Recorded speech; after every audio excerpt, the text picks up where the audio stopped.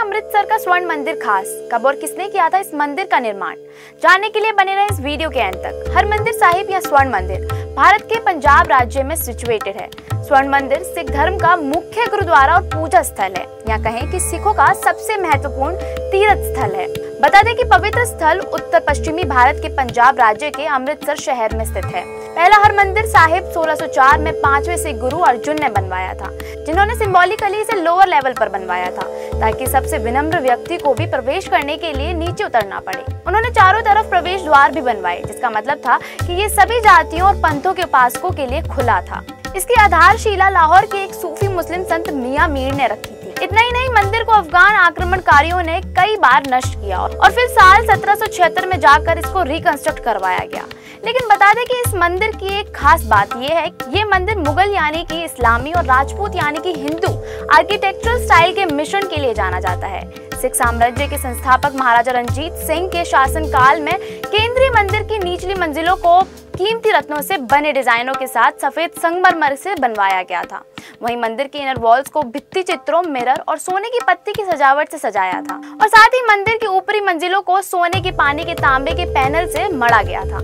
इस प्रकार ये संरचना स्वर्ण मंदिर के रूप में जाने जाने लगी। स्वर्ण मंदिर या हर मंदिर साहिब इमारतों का एक परिसर है जो सिख धर्म का हृदय स्थल है। बता दें कि मंदिर खुद एक तालाब और कुंड के बीच में एक, एक छोटे से आइलैंड पर सिचुएटेड है जिसे अमृता सारस अमृत का कुंड भी कहा जाता है।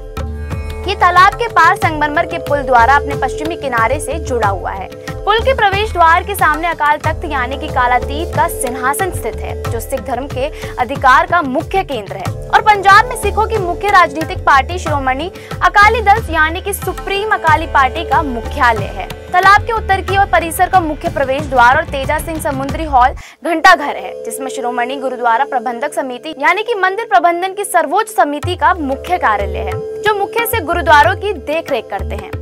तालाब के पूर्वी और स्थित भवनों में सभा भवन और गुरु रामदास का लंगर है। बता दें कि लंगर एक बड़ा भोजन कक्ष है, जहाँ प्रतिदिन हज़ारों तीर्थयात्रियों और विजिटर्स को भोजन कराया जाता है। बता दें कि स्वर्ण मंदिर जाति, धर्म या नस्ल की परवाह किए बिना सभी के लिए खुला हुआ है। लेकिन इस मंदिर में जाते वक्त हमेशा ध्यान रखना चाहिए कि आप अपने सिर को किसी कपड़े से ढक लें और जूते उतार ही मंदिर के अंदर प्रवेश करें। स्वर्ण मंदिर में सबसे महत्वपूर्ण अनुष्ठान दैनिक निरंतर गुरबानी यानी कि गुरुओं की बातें और कीर्तन है। ये गायन सुबह सुबह अकाल तख्त के दरवाजे खुलने के साथ शुरू होता है, जहाँ पवित्र पुस्तक, आदि ग्रंथ, जिसे श्रद्धा पूर्वक गुरु ग्रंथ साहिब जी कहा जाता है, रखी हुई है।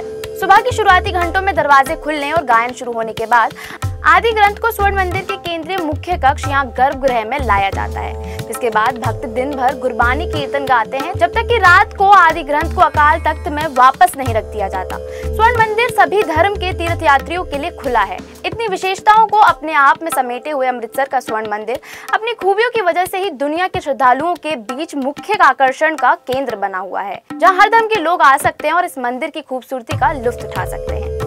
ऐसी ही और भी वीडियोस को देखने के लिए फॉलो और सब्सक्राइब करें इंस्टा फ़ीड